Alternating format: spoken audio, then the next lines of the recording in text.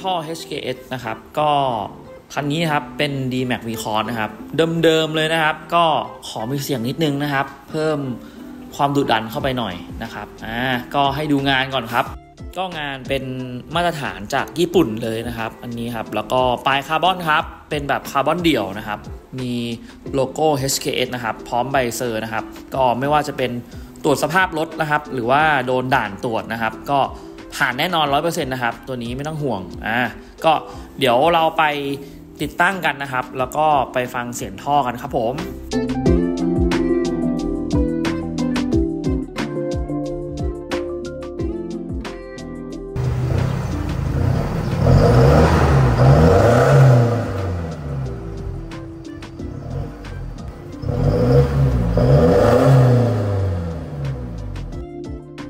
ฟังเสียงกันแล้วชื่นชอบกันไหมครับ